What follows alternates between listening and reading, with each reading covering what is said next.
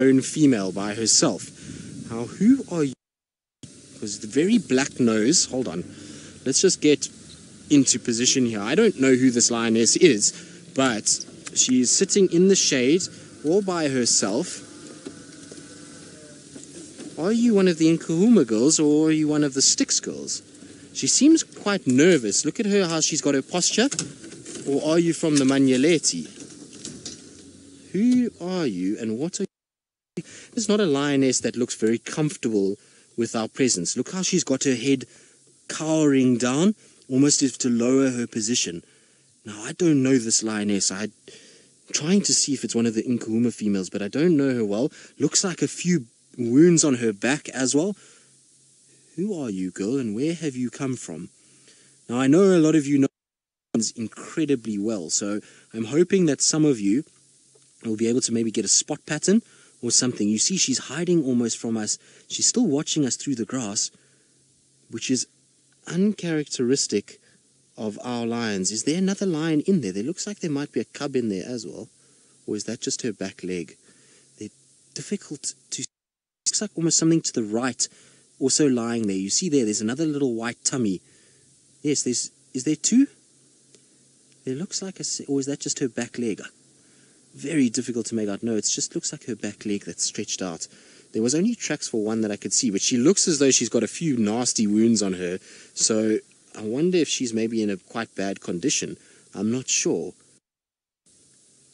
Well, this is an interesting little mystery that's come out. Now, I know a lot of you are concerned that she's hurt. Now, interestingly enough, with the tracks that we were seeing, there was no drag of her feet anywhere there, so I'm not sure if maybe she is hurt. I don't know. It's it's interesting. I don't know who this is. If Ali had all five females with the Nkahuma Pride this morning. So I don't know if all five were there or not, or what's going on, but there's definitely a lioness I don't recognize. So she had all five females. This lioness has come from the northwest. So I wonder, maybe it's part of the Torchwood Pride, maybe it's one of the Styx girls. It's got a nose on her. So I don't know this lion, and I'm not sure if she's in great condition or not. Donna, you're wondering if it's unusual to see a lioness on her own. So, Donna, it could be, uh, well, it is unusual to see a lioness on her own. So there she's popped her head up and she's now going flat. So she's getting more comfortable with our presence. Definitely only her here. So it's just the one lioness that we've got here. Her tummy looks a bit sucked in. She doesn't look as though she's kind of had a good meal recently. She's breathing quite rapidly, which is fine because she is going to be warm. It is a warm afternoon. But it is strange to have a single lioness, and particularly where we are. This is not an area that the Styx Pride regularly uses. Um, a member of the Torchwoods that has followed the buffalo this way, or a member of a pride out of the Manyeleti that has followed the buffalo this way, but it's most certainly just one lioness, and I have no idea. Crystal, you say maybe a Talamati female? Possible. I have no idea. I don't know. I mean, the Talamatis do get seen about around Jacana Dam, which is just north of Sydney, so maybe who knows? I'm not sure at all, but I will tell you that she didn't at first really like our presence. She kind of was cowering down, but now she's kind of relaxed. So it's interesting, and I would like to see her walking. The tracks dictate that she walked just fine, and so I mean, maybe she's not doing well. I don't know. She could definitely do with a meal, though. She's got a little kind of sucked in tummy there, so it definitely seems as though she could you can see her and that tummy is in a little bit. No lactating marks, so it's not like it's a female that's off on her own because she's got cubs and has lost touch with her pride and is trying to find them. So, who are you, girl, and where do you come from? Hmm. Interesting. This is the best thing about Safari is that you just don't know what's going on at all. But she is breathing very rapidly. What's wrong, girl? Have you just smelt something? Don't know who you are, but definitely a lot of cuts and scrapes around the shoulders and neck. So she's had a bit of a manhandling by somebody. But anyway, while we try and I'm going to try to get a better shot of her face and try and work out who she is. And while we do that, let's send you back across to Ali at Buffelshoek Dam. Well, she is on the move and she's very ginger when she's walking. She's walking with extreme comfort, but I mean, I suppose she's ambling, but she's not in great condition. She's got lots of wounds on her. She's got quite skinny, which I would expect from a female on her own. Life is tough if you've had a few wounds and you're on your by yourself. So I don't know who she is or where she comes from. I don't reckon, but she does have the more the kind of Styx look to her in terms of a very dark black nose, and she, you can see she's skinny. I mean, she's in need of a good meal. It's a pity she didn't find that impala this morning. But there she goes. She's kind of just walking through. She's not emaciated to the point where she's going to flop over and die any second. She's going to be in good enough condition to probably try and find food and to if she just gets one good meal like a buffalo she'll be absolutely fine now Jean you want to know if lions will remove themselves from the pride to die no. I mean it's a bit of a fabrication. A lot of the time people will say that lionesses do that. What is as they get older and weaker so they get it's harder for them to keep up. And the females that are still in the pride that have cubs they have to keep moving. They have to keep looking for food in order to sustain their own offspring. And so they often then leave these females behind, and older females then get into a situation where, unfortunately for them, they are behind and go off on their own. Now, this female, while she is not young, she's definitely not a young girl because her teeth are quite well worn already. They're not, I mean, they're not pebbles yet, but they are worn. They're not as sharp as a and healthy as a young lion. So I would say that she's the, but she's not ancient, so she's not a lioness that should be leaving the pride because she's too old and cannot actually keep up. So her right shoulder does look a bit odd, doesn't it, Fergus? So Fergus commenting that her right shoulder looks a bit beaten up, but she definitely has some serious bite wounds her back. Um, I don't know if maybe the Nkuhuma Pride is to blame for this, maybe the Birmingham boys, who knows? Maybe she's a Styx lioness. I don't know. I have no idea what the Styx are looking like at the moment and whether or not they are okay. But there's no sign of mange on her or anything like that. So, I mean, the Styx, I suppose, could be better by now. Angie, you say it looks to you like one of the older Torchwood females. Well, Angie, I suppose that would make sense because the Torchwood pride has been seen a lot on Buffelshoek lately, hunting buffalo herds, and we know that this seems like the same herd keeps kind of coming out of the woodwork. And the fact is, is she's on the buffalo tracks. She's walking exactly where the buffalo walked this morning. So maybe it is one of the older lionesses. I don't know the Torchwood Pride at all. So it would be very difficult for me to confirm or deny that she's a Torchwood female, but I wouldn't surprise me at all. They have been on Buffelshoek regularly over the last few months. There's almost daily updates on them, so it wouldn't surprise me at all. She's going to have to be so careful though, because she is walking straight into the middle of the Nkuhuma's territory. The Nkuhumas from where we are now are straight east. I mean, it's, it's still a long way. It would be about a 25, 30 minute walk if she walked at this pace. But you never know. The night brings a lot of different things, and if they come across her at night or the scent of her, they will track her down. Don't know if they if she meets up with the pride, the pride will most certainly kill her. So they will tr- if they don't Mean, they'll try and chase her, but an interaction with five adult females that have cubs in an area and the big Birmingham boys who will get confused in this whole thing, the likelihood of her coming out of this unscathed would be very, very, very, very remote. In fact, I would think that she, in all likelihood, would probably end up in a very bad way if she came across the not dead. So it's not a place that she wants to be. Striding into where the Nkuhumas are dominant is on your own is not a good idea. I mean, the Styx even kind of leave the Nkuhumas alone. Let's see, she's stopped there and she's looking at us. So let's see. Maybe this will be a good opportunity for anybody that wants to try and get an idea of her or just her right profile is maybe now is the good time. I know there's a branch in the way, but there's definite puncture wounds on her shoulders. So she's had a fight with somebody at some point. Shame, girl. But you can see, look how yellow the teeth are. They're blunted it's an older individual, but not an ancient individual. So this is not a, I would say I would put her be 11, 12 years old, somewhere there, which is an oldish lioness. I mean, that's they can get older, but it's a fairly old girl.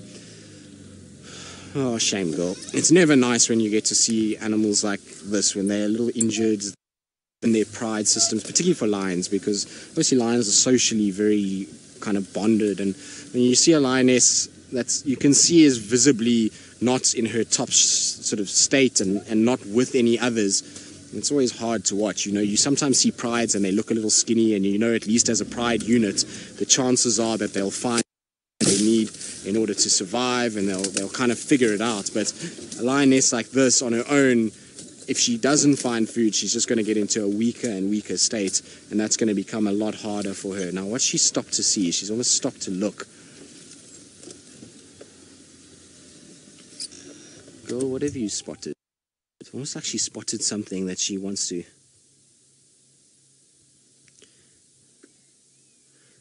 Show me, and you say it looks like she's got a bone sticking out of her right shoulder. So she definitely's got swelling there. I don't know if it's a bone sticking out. I'm not sure. I'm hoping she's going to stop at some point and we can actually get a good look. But you can there was a massive wound on her between her shoulder blades that is healed. That's all granulated tissue that's come together.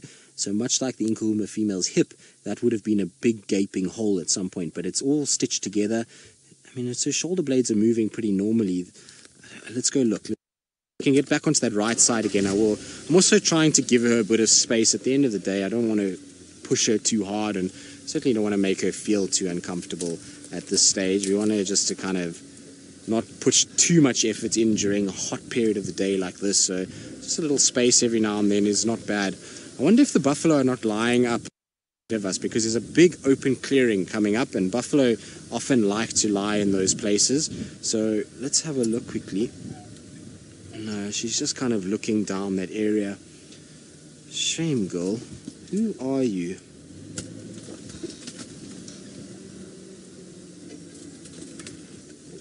like I say, never nice when that's not in its fine fettle.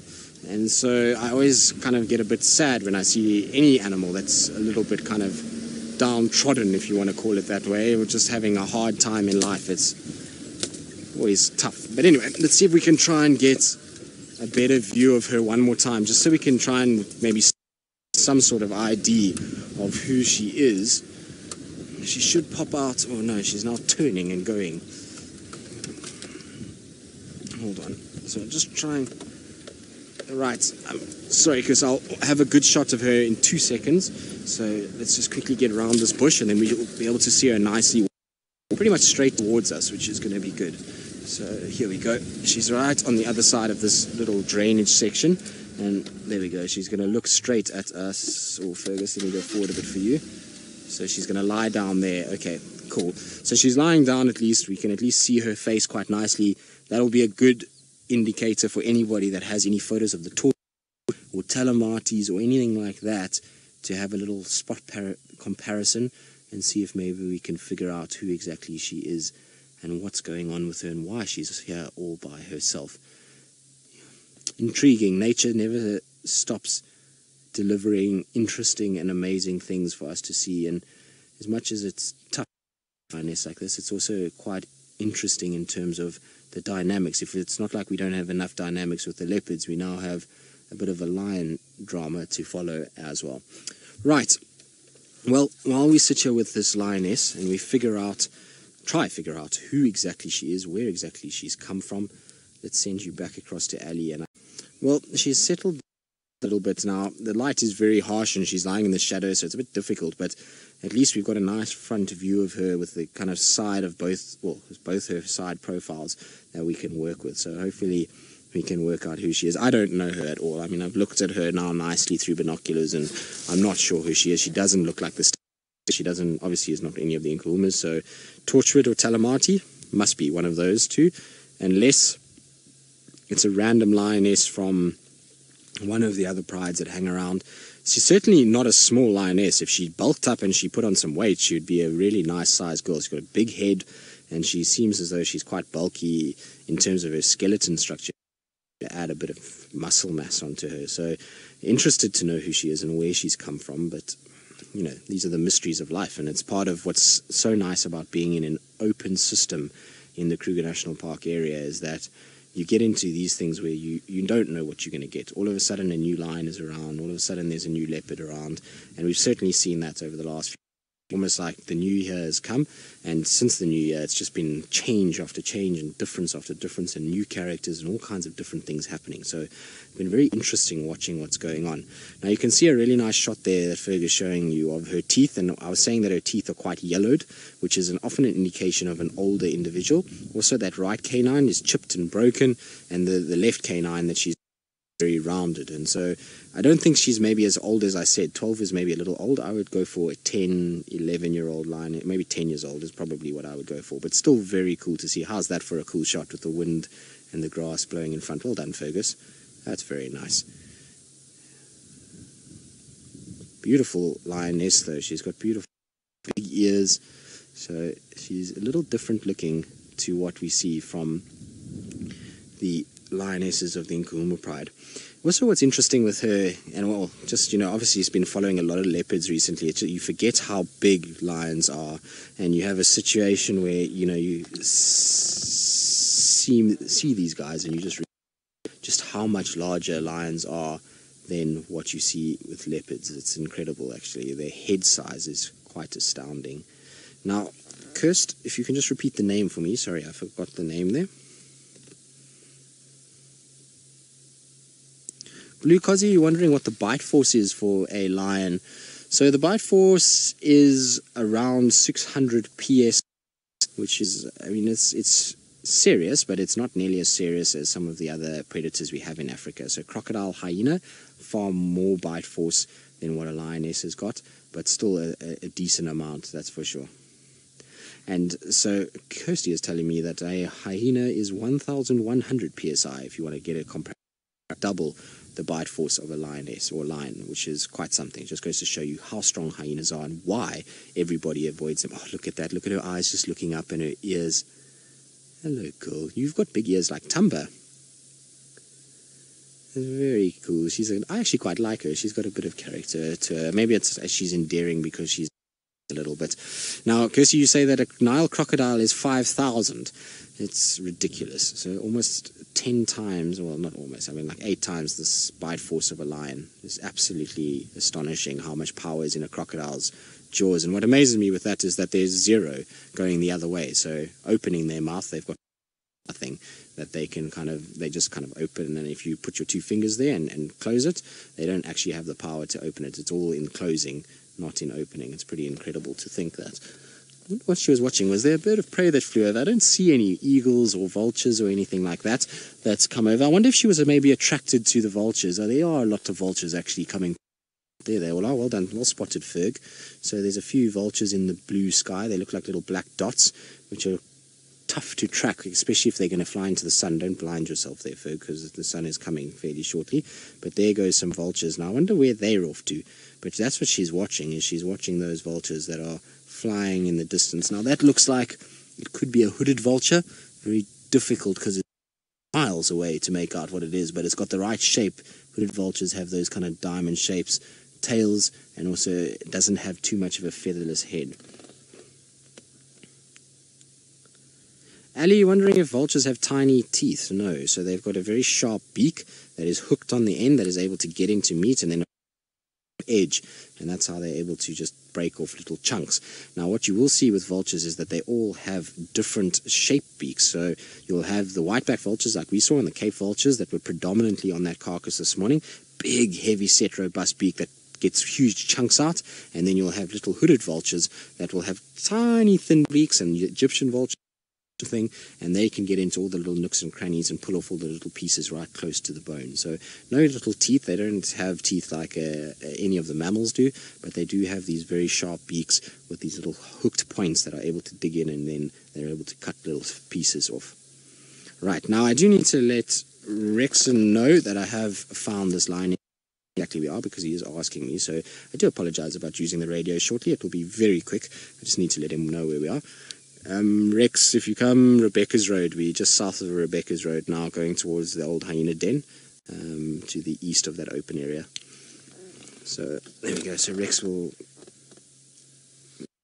make his way here as well and join us. Now, Rexon might know this lioness. It's actually going to be really nice for Rex to come here because Rex knows the Torchwood Pride quite well. He knows the Talamatis quite well. So he might be able to point us in the right direction as to who she is. Either way, interesting that she is where she is and how far she's come. I was hoping that maybe the buffalo was somewhere here, just from a point of view that I know you know, it's obviously never nice to watch a hunt take place and, and a kill, but a baby buffalo for her would do the world of good. And, and you never know when you follow a herd like that. number of females are pregnant if they've given birth during the course of the day. Often they stash their calves as when they go for water, and it opens up an opportunity for her to then maybe grab a calf, which would be vitally important just for her to get good condition. The reason she's probably looking the way she is, she seems to have been had some serious wounds on her that means that her body would have been utilizing a lot of nutrients and it really would have been tough for her at one point. And so she's probably struggled to keep up with the pride, hasn't fed very well, and so she's lost a bit of condition, but a few good meals, and she'll certainly be back to normal. I've seen many lions look far worse than her and come back and look absolutely amazing. In fact, Nkuhumas have all looked a bit scraggly at some point, and then they come back. So Mac, if you were wondering if this lion got bitten by a snake, what signs would be there that it was bitten by a snake? Depends on the snake, Mac. So obviously snakes out here have different types of venom.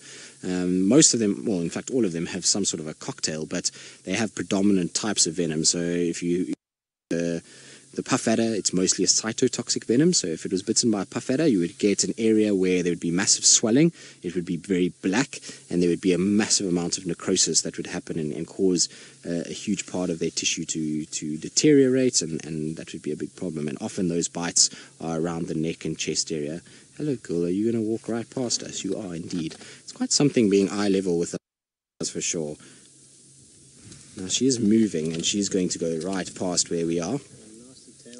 And she's got a nasty tail gash. Is that true as well, Ferg? Yes, she does. Just underneath her tail there, little gash as well. So if it was a puff adder, it would be that. Uh, Mamba is more a um, neurotoxin, so she would show signs of breathing, and she would struggle with those kind of things. And then if it was something like a um, cobra, well, they've got quite a mixed venom, so she could have a situation where she would be a little bit of everything. So difficulty breathing, um, and then also a bit of necrosis at the bite site as well. So it depends as to what symptoms she would show. Now I'm to try and just get up onto this other side of this drainage because I know it's not easy to follow her through here. I've once followed Tingana and Shadow in here, and it's really not easy. You've got to kind of stay on top of things quite quickly. So while I try and keep up with her, let's send you back across to Ali and find out where she is and for us this afternoon? Well, before we get into that, you might hear she's managed to find herself a tortoise. She just collapsed on it and just started crunching it. So I don't know if it was a baby tortoise, but it's certainly just been absolutely hammered, whatever it was. Did you just finish that in one foul swoop? No, I think she's still got some of it. Can you hear the crunching of the shell?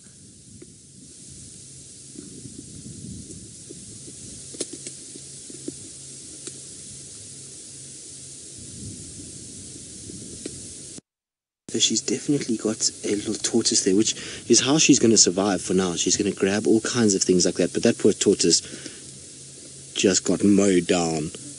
Shame. Wrong place at the wrong time, I think, for this poor little thing. Ferg, I'm going to try and get us round quickly so we can see better than what we can see now because I can't really see what kind of tortoise it is or what's going She's very conveniently right on the old hyena den road, which makes life a little bit easy.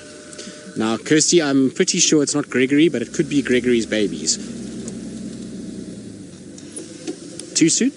Sorry, Kirst. I know as a as a new mother, what are you? Mother, grandmother, grandmother, first? What are you two? What are you two, Gregory? You're the fun aunt. Oh, okay. I see. Well, as the fun aunt, uh, maybe that was a bit soon to be making light of Gregory's Hold on, Ferg, sorry, I've got to get into low range here to get at this. Eggsy is the grandfather, and you don't know. Oh my goodness, it's all very complicated family. This the Gregory story. But for those of you who don't know who Gregory is, Gregory is our camp tortoise that comes in every now and then, and Kirsty and Eggsy have named it, and it had little babies this year for the first time that we know about, which is very cool. Well, we think. I mean, we don't know for sure, but the little babies came from where Gregory lives. It seems like it is the case. Now, it's definitely a tortoise. It looks like a small leopard tortoise, so not Gregory. Kirst, you can breathe a sigh of relief. There we go. But at least it is a meal for this particular individual. Poor tortoise, just like I say, didn't even because she literally walked and just jumped on it and then started eating it. Shame, my girl. Interestingly enough, though, she went to the toilet just before this and she defecated.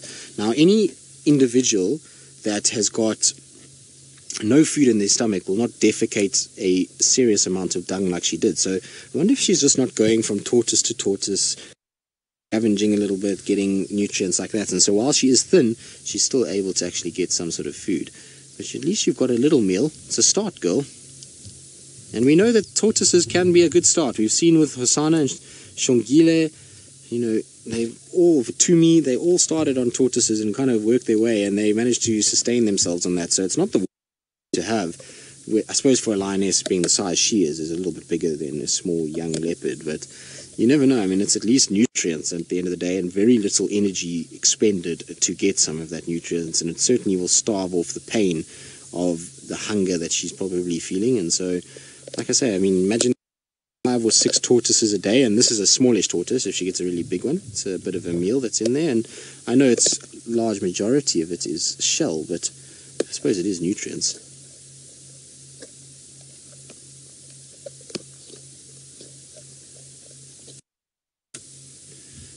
So, B. Wilson, you're wondering if she's going to eat the shell or just the meat? Seems like she's just tucking into everything at the moment. I think she's just so ravenous.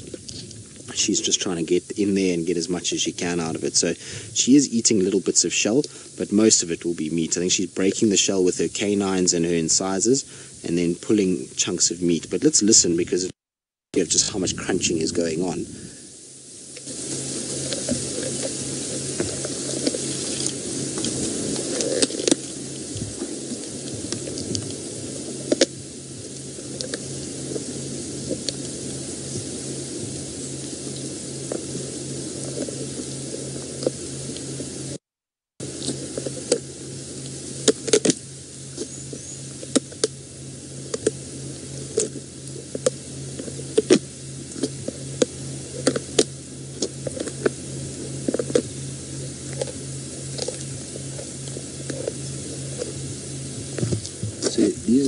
why their teeth do wear down a little bit is because they eat, you know, hard things like this and to show they crunch down on buffalo bones and all kinds of things. And so you see she's opened it and look now she's trying to pull the flesh out.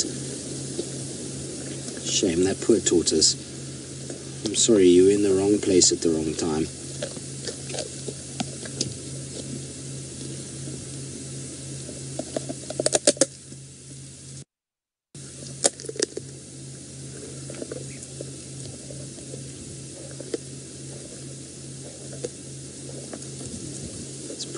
crazy we're sitting two meters from her and you can hear the crunching of that shell. It's absolutely amazing the force that they've got to be able to break through that.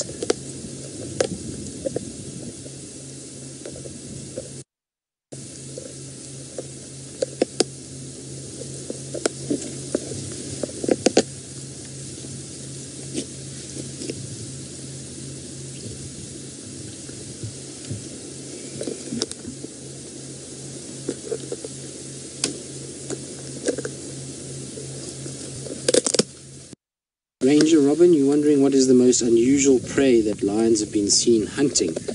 The kettle pot in the Kalahari Nature Reserve. It was a kettle pot that was hunted and absolutely destroyed by some lions the one year. But no, in terms of actual animals, um, just trying to think what they've been. I mean, they've I've seen them go after. I mean, they chase ostriches, ground hornbills. Um, I've seen them with Egyptian goose kills. I've seen them with vulture kills. Um, They've chased hyenas, tortoises, pangolins, aardvarks, pretty much anything you can think of. A lion will go after it, and I've seen lions eat pretty much everything. It wouldn't so shock me if they were eating. We get out here crocodiles, hippos, catfish, um, elephant, buffalo. Obviously, there's all the antelope species. I've seen them eating leopards before. Um, so pretty much anything's on the menu for a lion. Even if you go back to the Mapogo days, they used to even eat some of the lions that they killed. And in fact, even have done the same thing. So you know, it's it's. I think anything's on the menu for a lion as long as it can crunch it down and swallow it. Um, they will take it, especially in a situation like this. A lioness that is in this kind of condition is going to not sort of turn its nose away at any nutrient.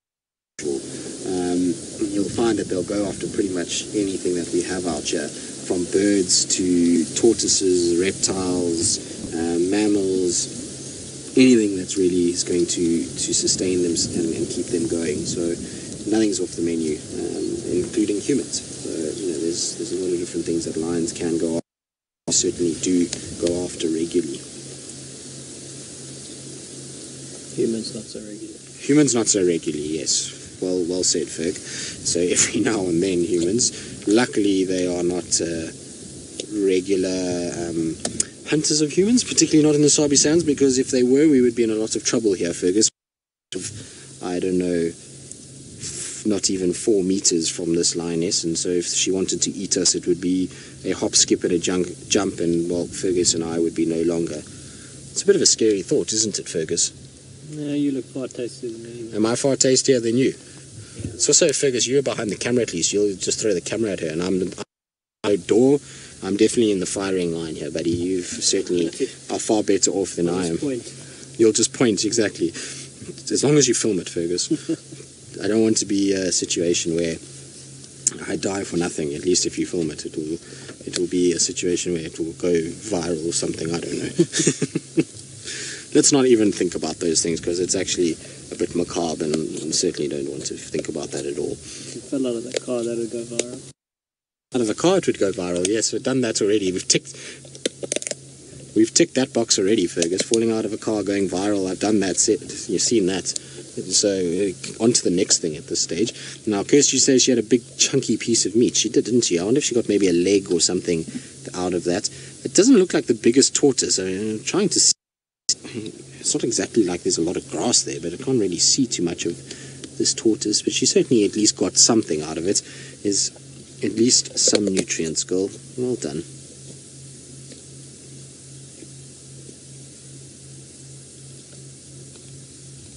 Shame. You can see, look, look how she's trying to kind of get her canines. She can actually get in there and get all that's left. The crunching continues.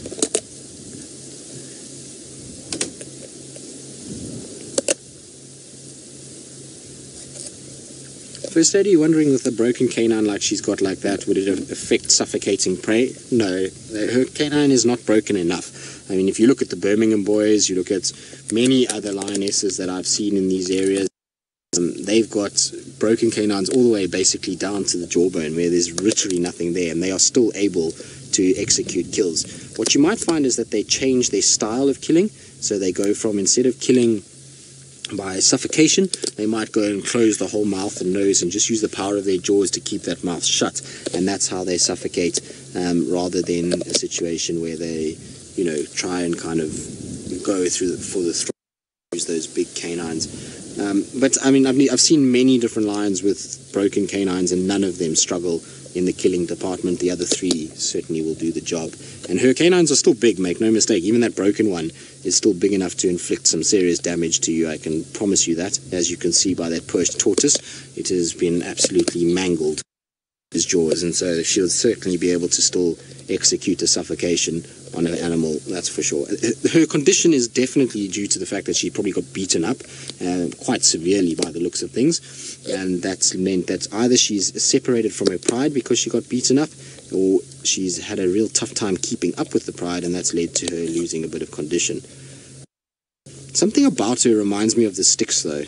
I don't know what it is. It's just that maybe it's the dark black nose that she's got. I'm not sure. I mean, like I say, hopefully some of the guys that follow our lions regularly and know the spot patterns of the whiskers can help us out. But certainly there's something about her that is recognizable. And so while I try and think and rack my brain through some of the Styx photos that I have with me, Still no ID, unfortunately. It's the way it goes, though, sometimes, is that you find things and you're not really sure. It just seems as though I don't know what happened between morning drive and now, but things have just kind of gone chaotic because we is here. She's still crunching on her tortoise. Ali's trying to track the Nkuhuma Pride, who seem to have moved around. And Rexon's got tracks for apparently three or four lions at Twin Dams hunting buffalo. So that who knows who they are and what they're doing there. So if there's tracks for three lionesses down there, or four lionesses, six pride, that's down there, and then that means that this definitely is an interloper and somebody that we don't know. So interesting. That's like I say, went from a quiet morning, and we drove Twin Dams area. We had tracks for that male lion that went south there, but we didn't have any other tracks for anything else. So I'm not sure. Was that yummy, girl? I'm certainly licking your chops like it was good.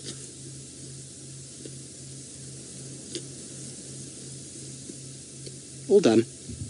Shame. She's obviously enjoyed that meal. She's literally eaten everything, shell and all. I'm quite surprised. I honestly would not want to be her, though, in a few hours' time when that decides to come out the other end. Be comfortable. Shame, girl. You're going to come past. You want me to move for you?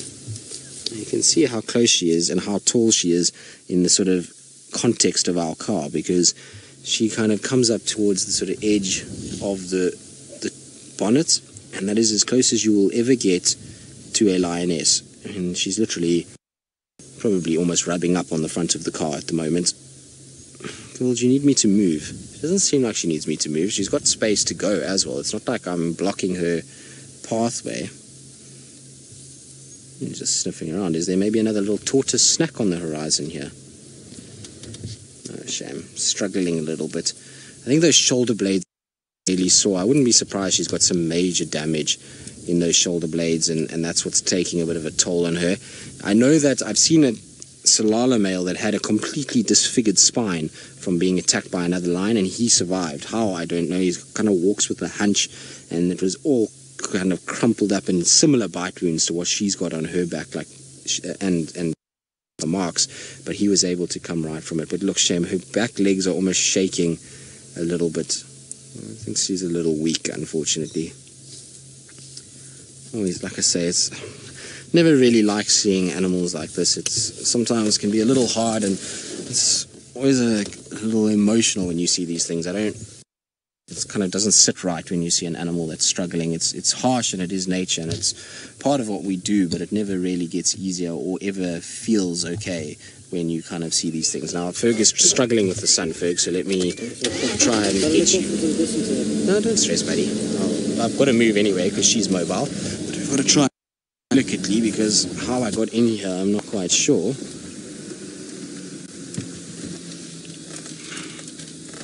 There we go. So as I was saying, it never really gets easier when you see animals like this, and I know it's always part of life out here, and it's something that I've seen many times, but never really enjoy it and kind of root for the animal always to come back from it. And it's, you know, it's like the Mvula sighting. It's, you know, it's always good to celebrate the fact that an animal's gotten to an old age, and it's a success that we've managed to see these animals go that way because it's a conservation, and, and as an area, we've obviously done to protect them enough that they can live that long, but it still doesn't change the fact that it kind of it just feels a bit heavy when you watch a sighting like this, when you see an animal that's just not in its best shape and clearly is uncomfortable and in, in no way really wants to be in the condition that it's in. It's obviously fighting to try and survive as much as it can, and that's rings true for all of us. You know, eh, a lot of us have difficulties in life, whether it be medically or anything like that, that we kind of fight for long periods to try and you know stay with with it, and it, and it's a tough thing to see. So I don't know. Like I say, maybe I'm just being a bit sobby today. What would the word be, Fergus?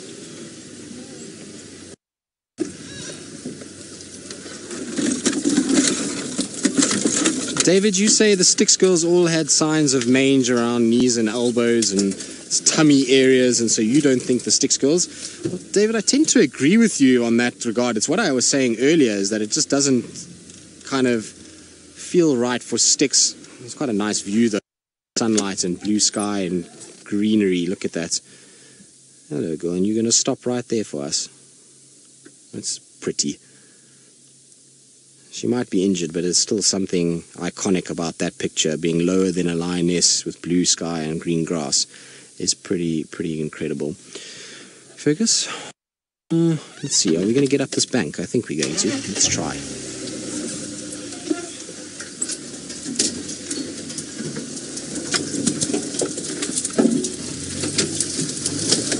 No, we're not going to get up there because there's a big stump that's hidden in there. So let's just try slightly. Right, now I'm just going to try and get up into a better part. There was a big stump in there that stopped me from going up, so we're going to try this way. Try not to hit myself in the face with a branch. There we go. We negotiated that okay. Now we just got to catch up with her, and we're on a crash course for Treehouse Dam at the moment, so that's where we're busy heading it. I think we can be quite lucky that we found her when we did, because otherwise it would have been quite a tough track to find her here. I mean, we obviously would have picked up the tracks crossing the road, but it would have been not easy to track her all the way through this stuff. Quite fortunate that we actually saw her when we did.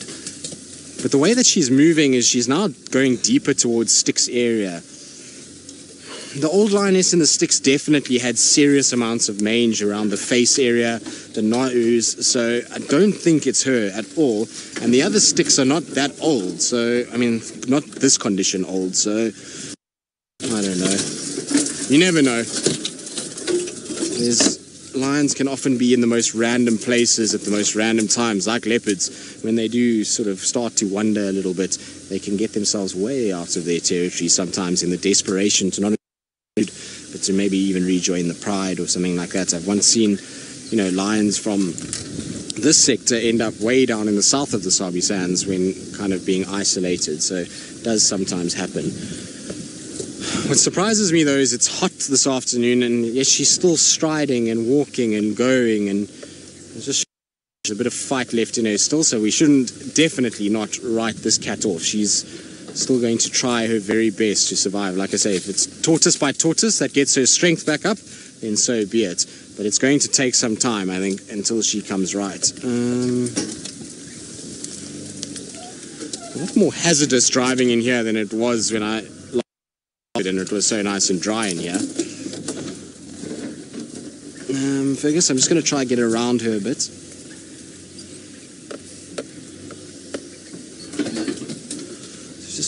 Got to watch out for stumps because since the grass is, stumps are a little bit less visible, and we all know my track history with stumps in this area or in on Djuma so let's rather try and avoid those this afternoon.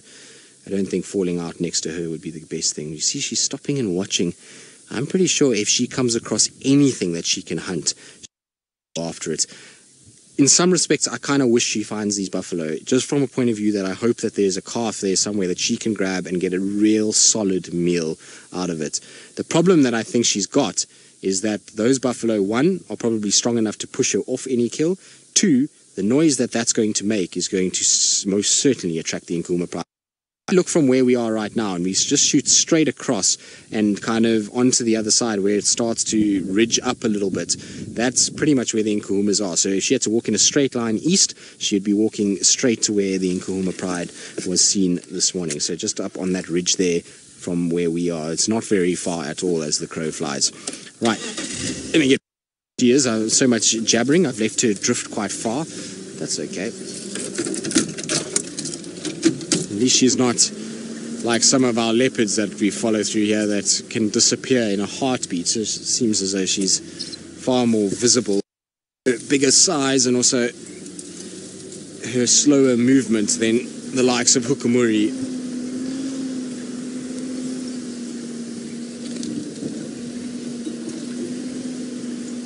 I wonder which way the buffalo went because I believe they were chased west, which would be back towards us by those lines at Twin Dam. So I wonder if the buffalo Treehouse Dam at the moment. Could be a sign that they're there. And maybe that's why she's walking in this way the whole afternoon. She's listening and looking and trying to kind of see where they are. Now, while I try and keep up with her through these thickets and see where she ends up, it sends you back across to Ali, who I believe has found some of the buffalo at Twin Dams. Well, hopefully Ali will have some luck on Chitwa and maybe young Hosana will be around. Wouldn't that be nice to see?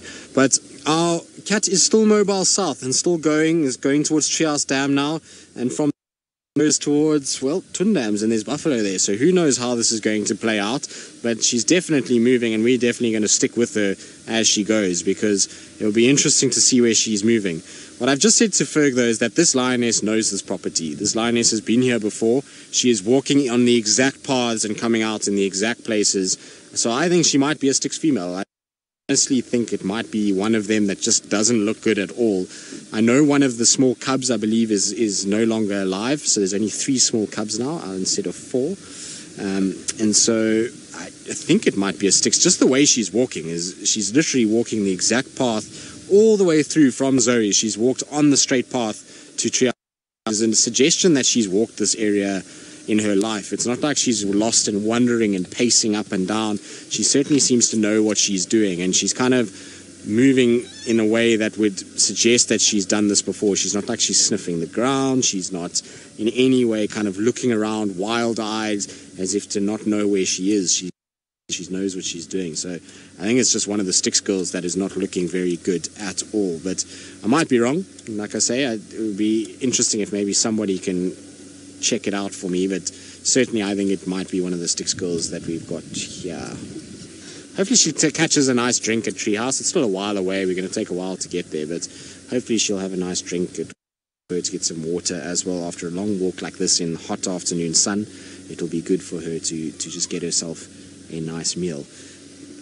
If it is a Styx girl, what she's doing up all the way coming from Zoe's power lines area, I don't know because that's a long way from here. Peter Panda, you say, what about a Tsalala? Uh, possible, but don't think so. There's one Tsalala lioness that is the tailed lioness that is older, that is apparently was looking really shoddy at one point. Possible, I suppose. I, I mean, I don't know. I find lions a lot harder to ID than um, leopards. I find lions, you know, for me it's tough to see the differences between them. I've almost they've got to have some sort of unique thing for me to ID them quickly. I, I won't lie. It's, it's it's a lot harder for me to work out what's going on with lionesses than it is with leopards. But I mean, I could be a Tsalala. I'm not sure. Anyone? Hashtag Safari Live. If anyone has any other ideas as to who this could be. The pictures I saw of the Tsalala lioness, though, looked as though she was almost but done. Kathy, you're wondering if she'd call out for her pride. If she got to an area where she feels like they're close or she can smell them, most certainly she'll start to and she'll have a situation where she'll try and give some sort of vocalization to rejoin. I would be very sure of that. Um, but when she's just ambling like this and maybe feels like she's not quite in the area where her pride could be, then no, I don't think we'd see any sign of her calling. I think she's just trying to fly under the radar, and rightly so. But like a painting, though, of this lioness walking down, the kind of dappled lights, green clouds in the background. I think it looks very much like a bit of a painting as we kind of rolling forward with her. She's definitely looking to the right, though. I wonder if she's spotted something. You see how she's looking right now. Well, Chias Dam is not the worst place for her to head. There's often a lot of water back here, a lot of impalas, and so there might be a chance for her to try a little hunting. I'm not sure.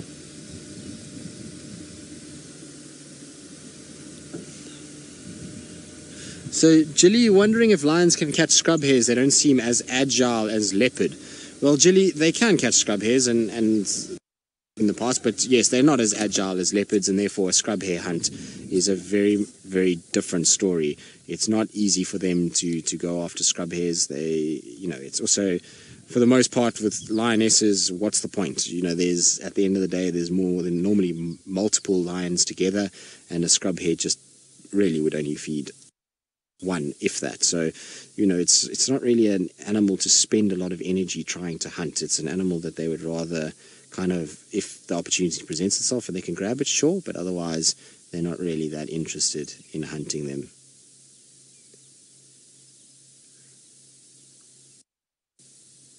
Right.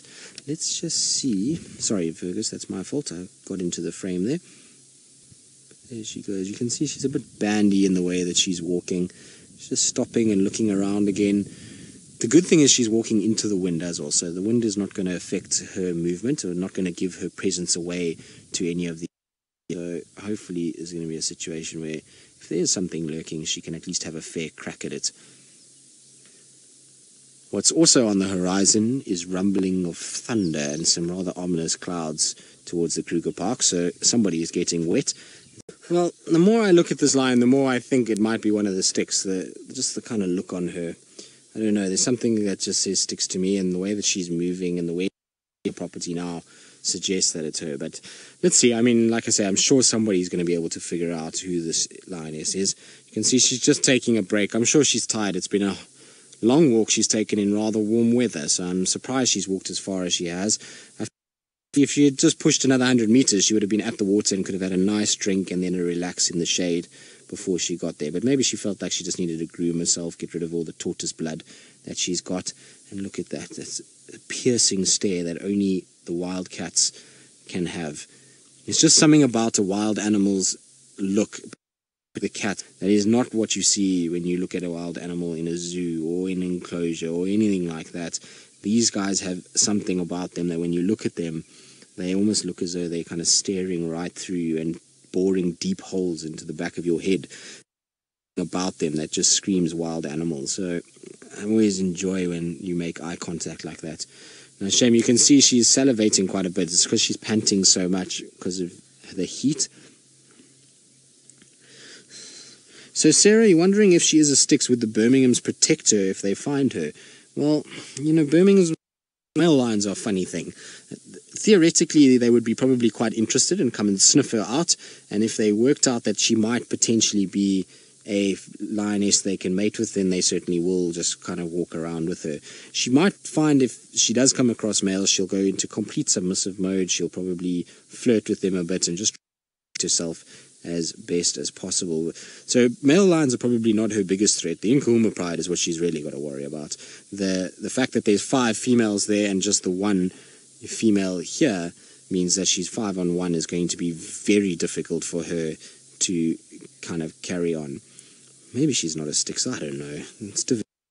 The ears are the only thing that's throwing me off as to her not being Styx is because those ears look massive and the Styx females don't normally look like that. Okay, so she's going to walk towards us. So I'm going to roll back with her and just try and give her a nice wide berth. So I'm going to be quite far from her as she walks because I don't want to sit.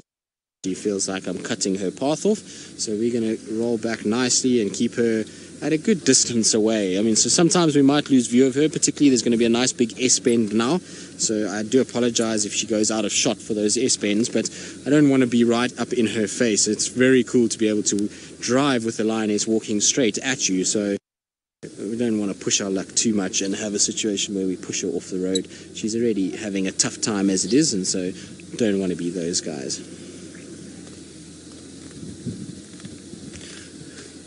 Kat, you're wondering how internal conflicts start with.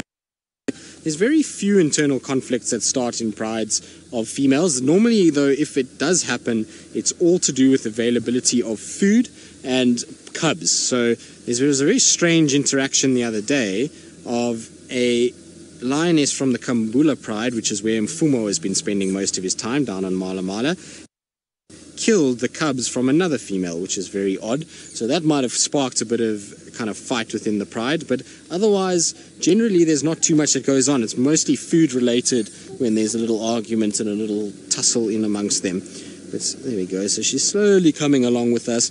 There's something epic about kind of just driving in a lioness at you. Can't quite describe the feeling. It's not something obviously that happens every day, and certainly not something. Sorry, Ferg, that's me that's in the way. It's not something that you get to do every single day. So she's going to go behind the bush. I'm afraid. Sorry, Fergus. And also sorry for my head. I'm trying to kind of see behind me as well as follow her. Now she might cut off shortly. Is right behind me here. The dam's not far at all. We're going to go over a small bump and then the dam should be visible. There's the bump that we've just gone over, and then there's going to be a game path off on my left hand side. that's going to take us straight to the dam. So while she goes towards the dam, let's send you across to Ali, who's found another predator, but not a feline kind. Well, she is up and going. She's just coming to drink. So sorry, guys, we're just going through a very thick patch because we positioned ourselves absolutely perfectly, and then she had a situation where she kind of went behind us and decided that the smaller waterhole was where she wanted to drink. So off of the waterhole for Ferg. So, oh no, it's not working. There you go, Ferg. That's what you're going to deal with, I'm afraid. So that's the best that I can do for now, which hopefully is going to be good enough for Fergus in the long run. Fergus, is that okay? Okay. Is it okay? or not? Not too bad. Not too bad. Considering where she parked us, I suppose I can a little bit more to the right so we can get her eyes. Hold on, Fergus. Go a little bit more to the right.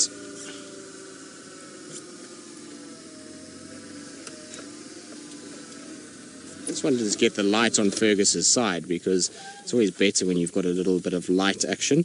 That helps with what's going on.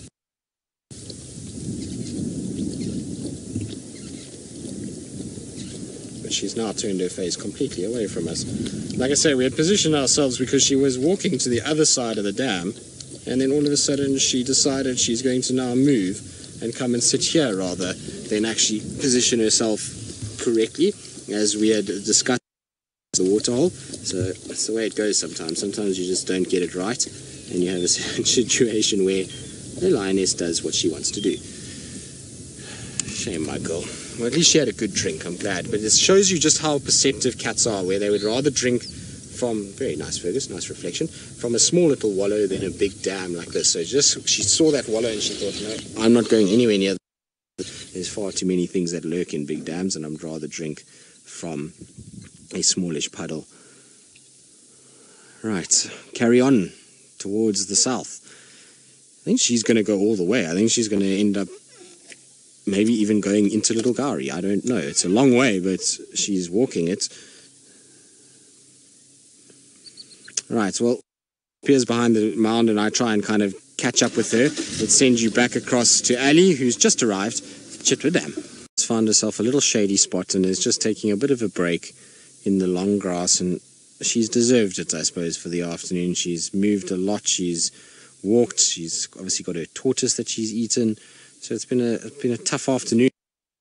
Probably a tough last couple of weeks, given what she seems to have endured over the little bit of those big wounds on her.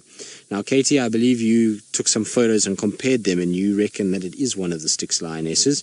So, well, maybe that's it. So settled then. Which Styx lioness, I'm not quite sure, and why she's looking the condition she also have no idea, and what she's doing all the way where she came from also astounds me. I'm, I'm not 100% sure what's going on and why she's so far north. But I suppose the Styx used to travel that way. The Styx used to be seen regularly on Simbambili, Arathusa, those areas. So I suppose anything is possible. But she found a little place to rest now. She's not far from where those buffalo and twin dams are.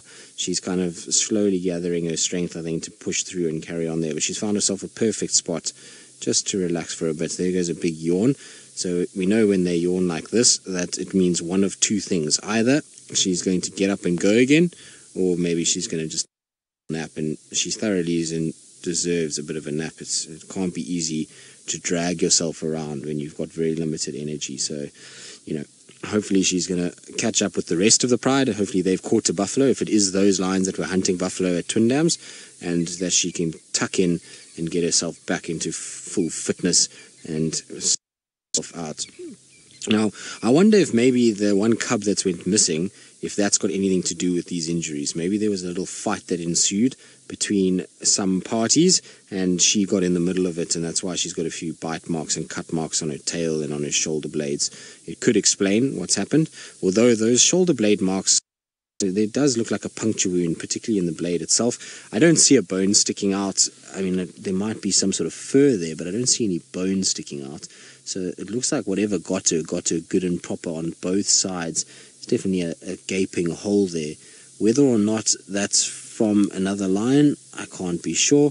Difficult to say. I mean, you know, on the back like she's been bitten there, although it doesn't look like holes from, you know, puncture wounds. It almost looks like scrapes. So I don't know what these wounds are. This definitely is healed quite nicely there. Suppose there is a nice puncture wound there, so it must have been from another lion that's caused these. You can see there, so they'll be kind of doing their thing, and that's what she will be driving her a little bit mad. I'm sure flies landing on her, and can imagine how bad it must have been before this tissue granulated together and has formed a bit more of a kind of scab over it. At one point, it must have been very raw and very uncomfortable. But it's been so long since we've seen the Styx, that it's difficult to know that this was her, and I hadn't heard anything about the Styx being in any way compromised or wounds on them or anything like that. So, you know, if it is one of them, what's happened to her is anyone's guess. Seems like it's been a hard summer all round for our big cats of Djuma. There's certainly no shortage of drama. And also, the other thing that's happened is almost a, a weird coincidence, but I know some of you were commenting on, you know, that with, the Mara being down for a few, for a little bit and, you know, things kind of not happening there, that we were going to get less sightings of lions. And it seems as though since James bid farewell yesterday, the lions have all just come back to Djuma. Weird way. It's almost very strange. It's kind of just to reassure everybody that the lions of Djuma are still around and they still will be present as we go forward. So hopefully they will kind of stick around. And it just shows you also how important buffalo are for our lion viewing. As soon as buffalo have arrived back, so the lions have started to become more and more visible on our area. With the lack of buffalo, it was just a lions were not going to find enough food to stay here as long as that they have in the past. But now that we've got buffalo around, you know, these lions are going to start to spend more and more time in these areas. So good to see the lions again. It's always nice to have the biggest of the big cats on Djuma. Mary, is it true that when a lion yawns, it's threatening? So, no, that's completely false. A lion yawning like that has got nothing to do with threatening behavior. A threat display from a lion would be baring its teeth, it would be ears growling, tail flicking. Those are threatening displays. Yawning is simply a way of a lioness getting more oxygen into the lungs, getting the blood to start flowing. It's often after they've been lying for long periods of time, and it allows the blood to start circulating through and oxygen rich um, blood to go into the muscles that have been slept on, and therefore stand up, they can walk a lot easier. You must remember that lions are often stiff when they stand up. But the activity that they do have is often very physical. So if they're hunting things like buffalo, they do get stiff, they do get sore, and so you know there's these these muscles get tired, and so when they yawn like that, they're just getting that oxygen-rich blood back into those muscles and prepping them for about to to start. It's got nothing to do with the threat display. They are not in any way being threatening. You can see when she's yawning, if she was threatened or if there was something that was making her feel uncomfortable, she would direct it at it.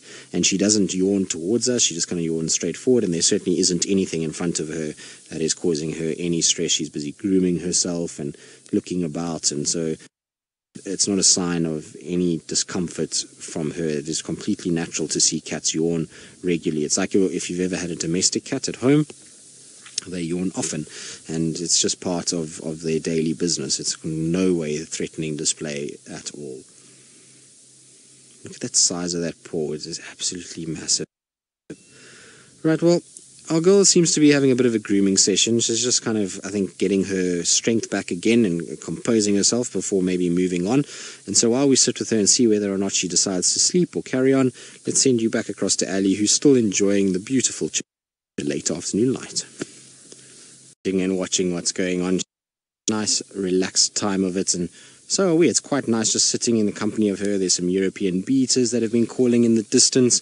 There's been a little bit of a breeze that's coming up now, so it's very pleasant out here, as well as the fact that the sun is just starting to set now, and so we're getting this beautiful kind of golden tinge all around us. Oh, there we go, girl. Are you going to have fine for the afternoon? It's taken you a while. You've been walking all afternoon, so I'm surprised it took this long for her to sleep. I would have thought she would have started waking up now rather than sleeping, but you never know. Maybe she knows she's in earshot of those buffalo and she's just sitting tight now and having a bit of a rest.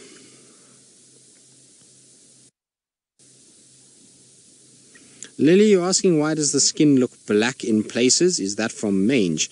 So, Lily, no, probably not. Um, the places where it looks very black, particularly on the shoulder areas, is where there's scars. So that's where her skin has been cut.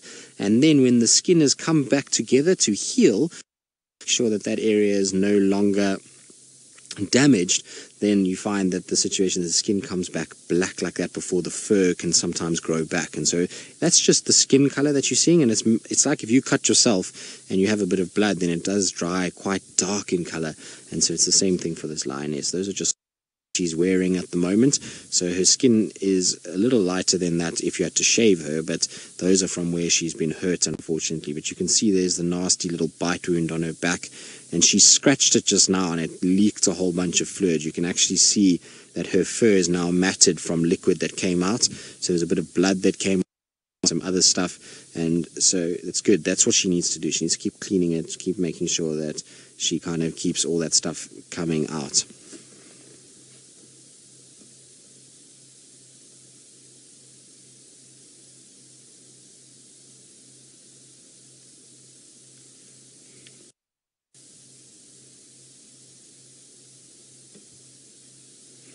Really fantastic. You say you hope she's not lonely. Well, I'm sure she's a little lonely. I'm sure she's in a situation where she wants to obviously be back with her pride. It would be far better for her condition, far better for her to find food, to find her pride again. So I'm sure she is a little lonely.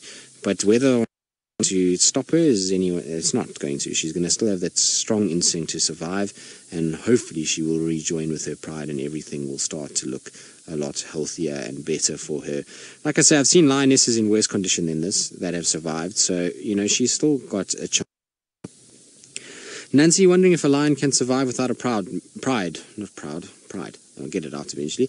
But um, yes, they can. So I have seen single lionesses survive without prides. Um, it's possible. They just have to readjust their technique.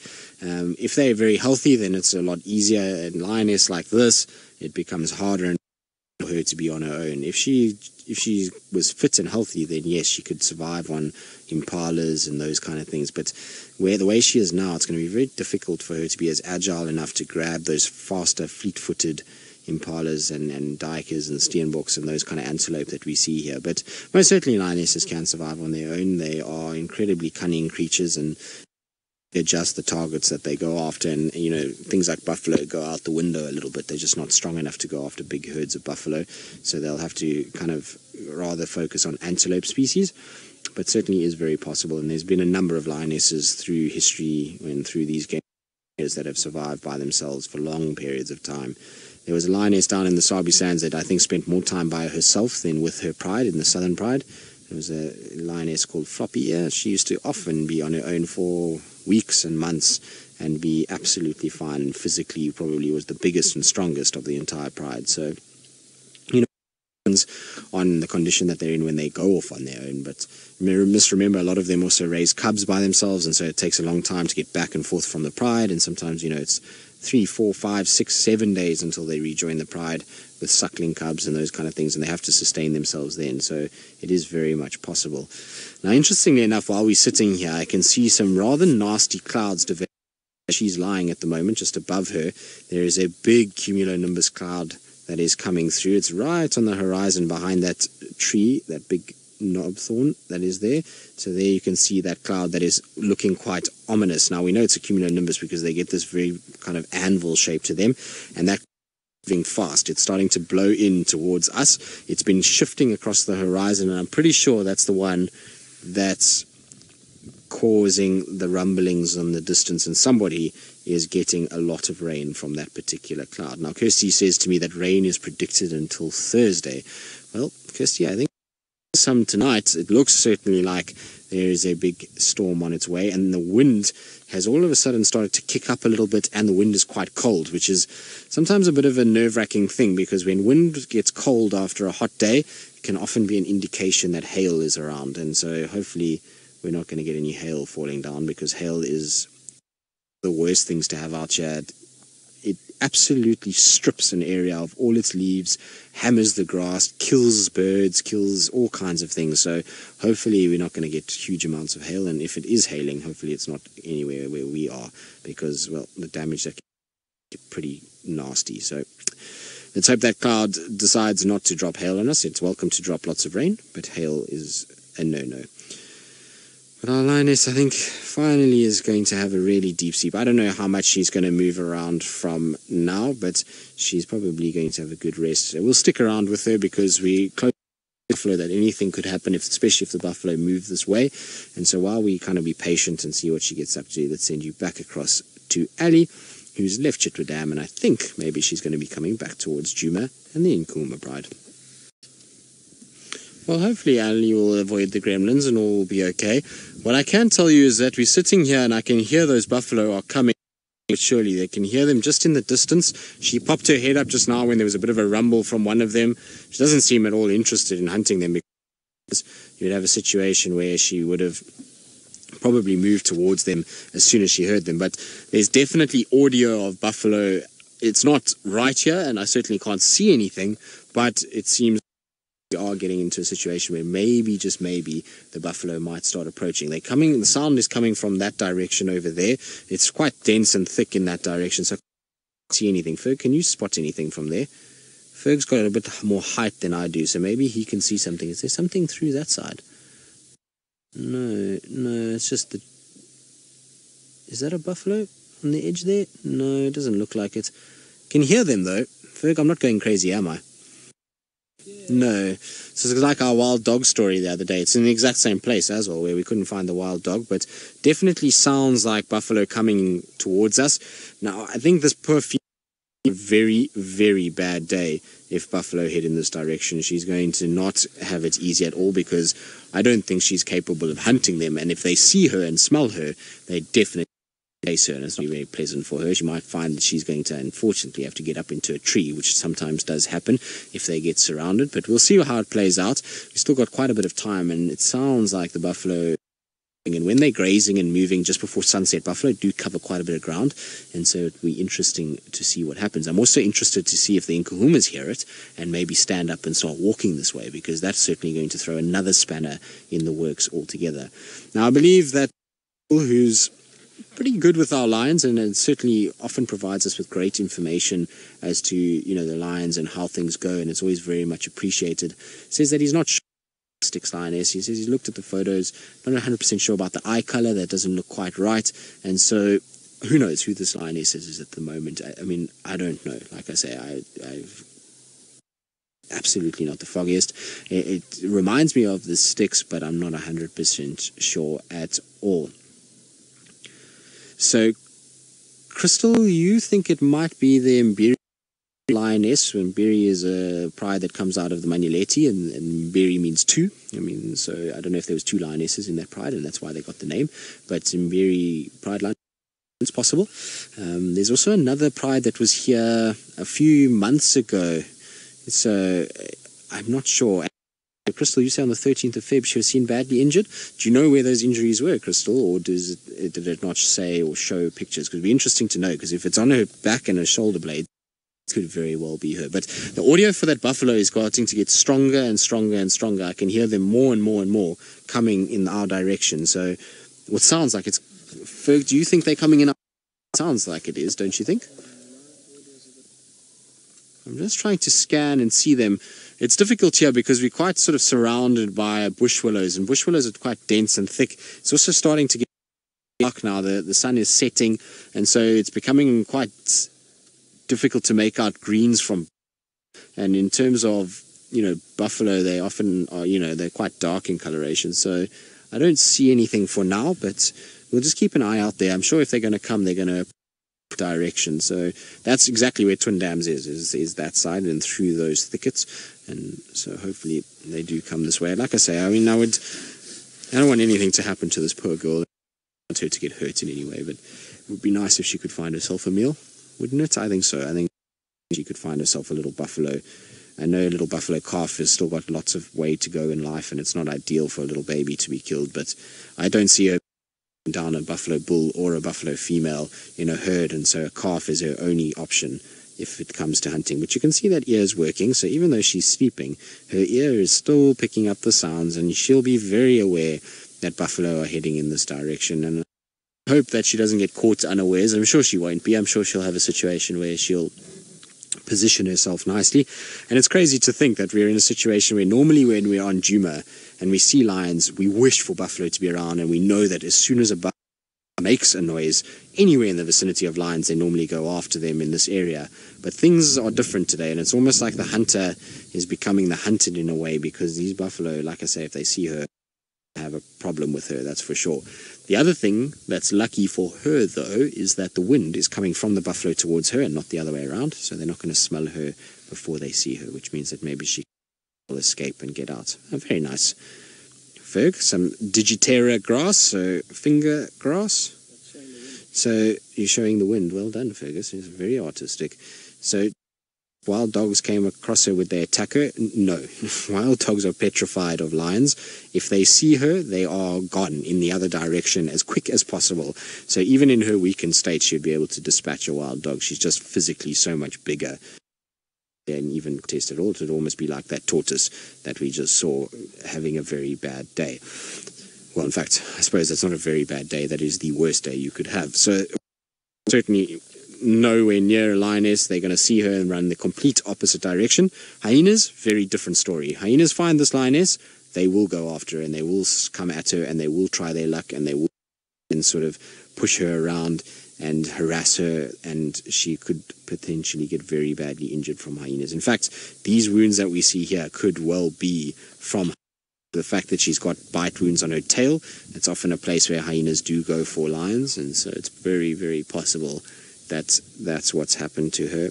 I don't know. I, I surmise though that it's more another cause this. I know in the Manyeleti, if it is one of the Mbiri females, the Manyeleti has had also lots of kind of movement of lions and lots of conflict up there. So very possible that it could have been other lions or even hyenas as well. But she's very sleepy now. It's amazing. Walked through the hottest part of the day. Now that it's cool, she's lying down. I would have thought that it's cool. She would have to keep going. And I'm interested if she's not a Styx, why is she moving in this direction? Is it because she's just been hearing the buffalo all day and she just wants to run and try and get herself a meal? Is it because she just doesn't know where else to go? I mean, I just it baffles me that she's walking the way she's walking. And also, what is interesting with her is that she knows which way. She literally went onto every single game path that led her directly to Trias Dam, that led her directly to sort of this point here. This is she's just come off a big game path that walks here, and it's the same game path the Nkuhumas use. I've seen the Styx use it, and I've seen a number of our leopards use this game path. So, how she knows about it is anyone's guess. Who knows what the situation is with her and how she kind of. But maybe they're a little smarter than we are, and they're far more kind of aware of their environment than what we think. Anyway, we're going to sit, hope that the buffalo make an appearance fairly short. And while we sit and wait for them, let's go back across to Ali, who's just having a little bumble in the beautiful bush. And it sounded like the buffalo maybe a little closer than we thought. I can't see them, but she certainly popped her head up and started walking straight in that direction. So she's definitely heading towards where the noises are coming from. Whether or not she's going to try and hunt them, I don't know. But she's done some damage to her tail because she's licked it and groomed it so much that its blood is pouring. What beautiful sky there is on the horizon. Look at that with the lioness walking through and those pink and blues. That is very pretty. That's something straight out of a book, really. You can't ask for a sky than that. Ominous, but pretty. That's for sure. So let's keep up with her though, because I, if the buffalo are around here, we want to be quite close because it's going to be a situation where it's going to be at close quarters battle. That's for sure. It's thick in here, and so everybody's going to get nice and close before they realize where each party is. I still don't see any buffalo. I'm scanning as much as I can. She's with intent down to that area. So I wonder if she's really considering going after a buffalo. This is quite interesting. Would have thought she would have shied away from the confrontation of a herd, but maybe hunger is driving her to try her luck.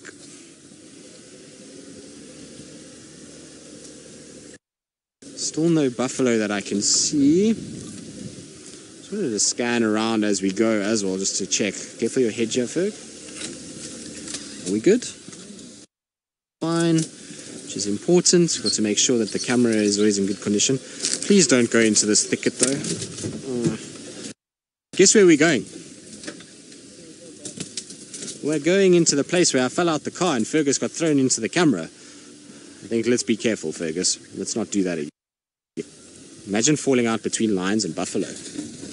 Yeah, let's not do that. I've seen somebody actually fall off a car twice from lions and buffalo. So it's that you would want to do. In fact, the one guy was saved by, one tracker was saved by his ranger when he fell out right next to a pride of lions on top of a buffalo. Luckily, they were so busy looking at the buffalo and so busy trying to eat the buffalo that they forgot completely that somebody went thump right next to them and they kind of let it go. So it's interesting to see how that went down, but I don't think I would want a repeat performance of that anytime soon. Look, she's stopping and listening now. That's where I think the buffalo are in this little thicket. See, look, she's definitely intent on something. I still don't see any buffalo. I can't hear them. If we were very close, we would hear them. The grow. I can't hear that at the moment. She, ah, she's stopping and listening. All right, let's keep up with her. Let's see. The good thing is we're going to be on the road, so we're not going to attract too much attention to her because buffalo be used to us being on the road, but they're not very used to us kind of bashing through the thickets. So they'll pop their heads up if we're on the thickets, but now saying that I need to put my seatbelt on. Do you have a seatbelt, Fergus? Do you have a bungee cable? Put me in. Well, actually, let's not use bungee cables. Bungee cables seem to be dangerous for the crew. Who got hit in the face? James and somebody else also got hit. Did you get hit, Fergus? Cross fingers, exactly. Brent is the other one that got smacked in the head. What if I. But he to admit it, that sounds just like Brent Leo Smith, just like he didn't get stuck in the Masai Mara and is not part of the Mash- Marshmallow Club. Deceit, he did get stuck. Kirsty has the photos to prove it, and we've all seen them. Hey, Kirsty. Brent Leo Smith is definitely. He is actually the founding member. He was the founding member of the Marshmallow Club, but he doesn't want to tell anybody that that's what happened, but he is. He's Lord Marshmallow. Do you think he'll like it if I call him Lord Marshmallow when he gets back? It's going to be a long time, so I'll have to remember Lord Marshmallow, but for now, I think we should call him Lord Marshmallow. It would be good. And then Taylor is Queen Marshmallow, and yes, the viewers, all of you will remind me about Lord Marshmallow and his little incident where he got. In fact, Chris, I haven't even got photos of this. Have these been shared? Did anyone actually see him get stuck and share it live? No, they haven't, have they? So I think what I'm going to do is while you look at the lioness walking down the road, I think I'm going to try and find see if I can see where Brent got stuck because he always has a lot to say about everybody else getting stuck, but never has he shown himself being stuck. Look at this. There we go. Is that Ralph? Who's that? Now, I'm not sure who it is, but I've got to try and find Brent jacking. Yes, that is Brent jacking. So we even have a bit of video action. So, no. Brent's been stuck now. Look, she's stopping. Okay, let's get into videos about Brent getting stuck later because this lioness is getting more and more serious. Her body posture, the way that she's moving, is that of a is watching what's going on. Now, I know she's lying on the road, but she's stopping. She was listening. She got her head much lower. There goes a scrub hare in the background. So if you're wondering whether they hunt scrub hares, there's a scrub uh, moving in that direction. Let's stop right here because this will be able to then see if the buffalo start making their way. Like I say, the good news for her is that the wind is blowing perfectly because the scent of those buffalo will be drifting towards her rather than her scent sending towards the buffalo. Now, I believe Ad of the buffalo, and I'm interested to know exactly where she is, but let's send you across there so she can give us an update of just how far those buffalo are from Twin Dams. Well, I'm not very far at all, Ali. I can hear your buffalo, and you are just to the south of where we are. So basically, Ali is no more than 200 meters down this road. If you look where this lioness is, there's a tall tree directly behind her in the distance there. So straight down the road there to the left, and that's basically roughly where Ali is at one of those big tall trees on that horizon section there. So it's not far at all, and hopefully. Lioness is going to head there. You can see she every now and then per- turns her head in that direction. I think she's wondering whether the buffalo are going to come to her or if she's going to actually have to go. But isn't that a beautiful picture? I know it's kind of quite dark, but there's this beautiful color in the sky. The road itself has almost got a sort of purple tinge to it, and then the sort of blues of the oncoming and a bit of a breeze. Are you going to go flat now? Oh, girl. No, no hunt just yet, but I wonder if the buffalo maybe makes some more noise if she might head this way. And also, I think it's going to turn and come back up the road for her to do anything. If they go south into Little Gowrie, of course, obviously this is all going to be very difficult for us. But we'll stay with it for a while and see what's going to happen. I I mean, we've followed her all afternoon. We might as well commit and just keep going with her and see what she gets up to. Uh, I don't know to hunt these buffalo. It's more maybe just a situation that she heard them and she'd rather be in a space where she can see them coming than being caught off guard in a thicket. I mean, I don't. It's obviously a difficult thing to to sort of know, but she's certainly kind of not that interested at the moment and doesn't really look like she wants to be hunting. That's for sure. If it was a lioness that wanted to hunt, she would have heard those buffalo and really would have been committed to it by now. It's a pity that Nkuhuma Pride we're not as close to these buffalo as what she was, because that would have definitely meant some hunting would have taken place. wonder if she get up and move. Seems as though she's still very quiet for now. And like I said, the wind is kind of coming from those buffaloes, so she knows they're there. I mean, she's been listening, she's been looking direction, so she knows the buffalo are there. I think it's just a situation where she just doesn't have the strength to hunt them. And so for now, I'm going to take it easy and just sit tight, and then let's see what happens from there. Maybe she's going to catch her breath for a little bit, and if the buffalo grunt and make some more noise, maybe she'll head in that direction again. Interesting though. It's strange that we've just got another different cat around. Heidi, good to have the buffalo back. It is. I mean, it's a huge part of the ecosystem here. And when they disappear like they did in the last year, it, it certainly leaves a big hole and a big gap. Oh, there's some impala. You see them just ahead of her there, Ferg. Just on the edge of the tree line. Is that impala? Yes, it is impalas that are just coming out. That's far more soon a buffalo, except that she's lying right in the middle of the road, and so she's got no chance to hunt those if she stays where she is. But the buffalo being back is great. It's it's it creates a whole different obviously good for our ecosystem in that they are grazing again they are dropping fertilizer in the form of their dung all over the place it brings the into this area it, it makes everything kind of a little bit more balanced and so it really is good to see them I think we're going to have another year though where we're not going to have too many buffalo in the winter. It's going to be another dry time. Sure, we're going to see too many buffalo. At this stage, we're only seeing really one herd by the looks of things that keeps coming through. It doesn't look like we've got multiple different herds in the area. It looks like this individual herd that's coming, and so I don't really know how many buffalo are going to be around. I know there's a lot of buffalo to the south of us along the Crocodile River and maybe if they exhaust their resources, we might have a situation where they come up this way. That's quite cool to see the impalas in the far right and our lioness on the left. You can see she hasn't seen them. The impalas haven't seen her. What's going to interest me is whether or not those impalas start shouting. Is that going to drive up? Is that going to make the buffalo a little bit more nervous? Bonnie, you say I'm wake up, Tristan. I'm awake. I'm with it. I've spotted those impalas like a ninja. I was I know, so I'm just playing around. So I know that Bonnie meant I must wake her up and get her to but I was just playing around and having a little bit of a joke. But hopefully she does wake up, although the impalas seem as though they've far more awake to what's going on, and one is looking in this direction, although hasn't seen her. It means that sometimes these animals, like the impalas, who've got such keen eyesight, can look at a lioness lying in the middle of the road and not see her. Just because she's lying flat, they don't see her they just don't do anything. But if that lioness was up and standing, you would have found that those impalas would have been onto her like a flash. You can see the impalas are looking in our direction, but they have no there's a lioness lying here. It could also be the angle. So if you look from where those impalas are and you come along the road, there's a little bump in the road. This lioness is being obscured by that bump in the middle between these impalas and the lioness itself. Girl, you need to wake up. There's some food over.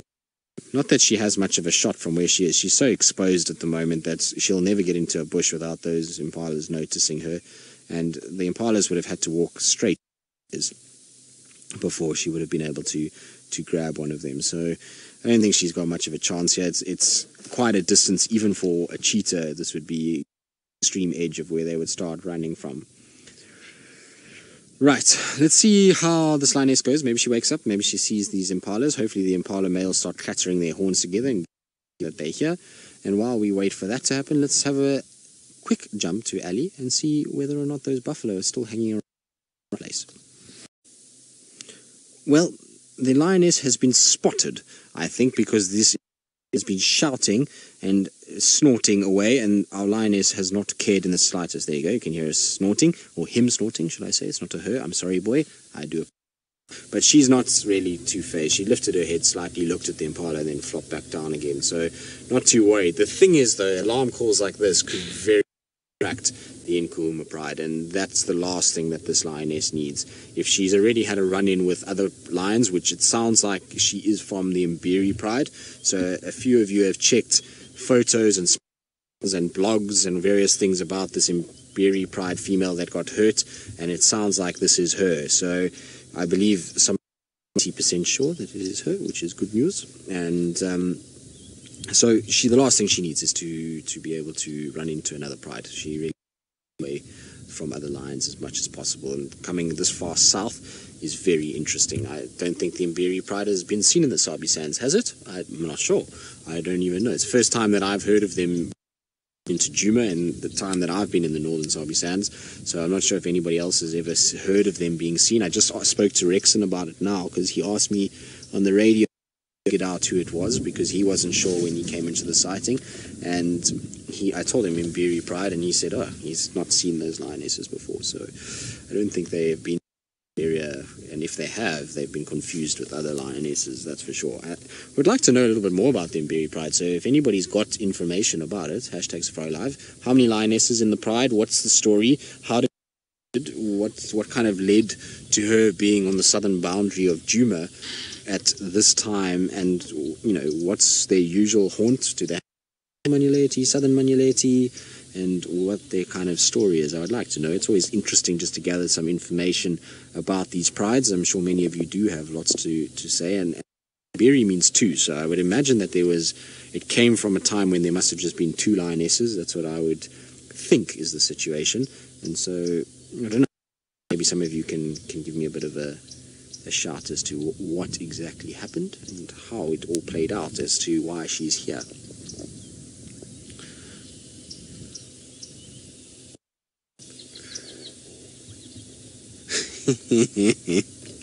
so Aiden, who's six years old, Aiden, I like the way you think, and I could do what you're asking to do, but unfortunately, I'm fresh out of cheeseburgers to leave her tonight. I don't have any. Fergus ate them all this afternoon.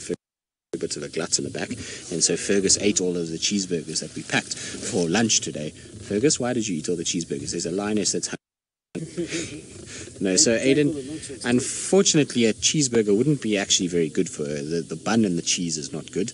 But if we did have for her, that would not be good as well because it would be interfering in nature. Now, what interfering means, Aiden, is it means that we are changing the way that nature going and playing out. And the system that we're in here is a very large one, and it's big, and there's lots of animals here. And so, what the decision is, is that the animals need to live by themselves as.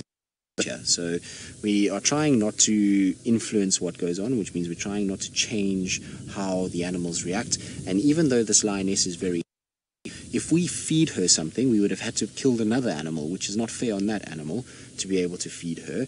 And we don't know if she's going to be able to come back herself. You, you never know. She buffalo tonight, Aiden, and she might be getting all the food she needs. And that buffalo was a sick, weak buffalo that needed to be removed from the system because it didn't, wasn't able to handle proper nature. The animals that die and that are killed are animals that are not strong enough to survive, and it's important that those animals die because the strongest animals must survive for the or, or the type of animal that they are to go forward in and, and to be able to be stronger and better and to be able to survive for longer periods. So us feeding be unfair on the animal that we had to kill to to feed her and also would be unfair on the system itself because then if I feed her why am I not going to go and feed that skinny or a impala that died that we saw yes this morning that was being eaten by vultures. So just because it's a lion, we can't go and feed it. We need to try and apply a, a rule to all of to treat the animals that if we've hurt them as people, then we try and look after them.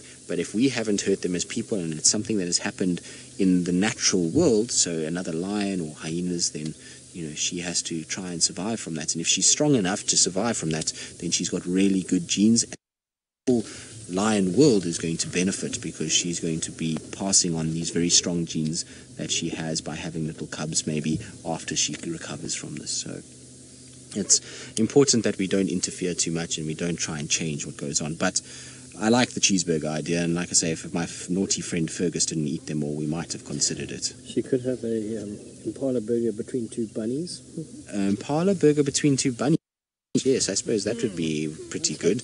I'm sure she wouldn't mind two bunnies on top of an impala or on the bottom and top of an impala. I'm sure she would get them down quite quickly. Tortoise burger, she already tried. The shell was a bit crunchy. Do we call it a, is it maybe a tortoise nacho? What- Hmm, yes, tortoise nacho maybe. Right. Anyway, we're going to sit here with her while she's got her head up and kind of facing down the road. And while we do that, send you back across to Ali. And I wonder if Ali's not close to Janet Jackson's hole, that she might have a little look.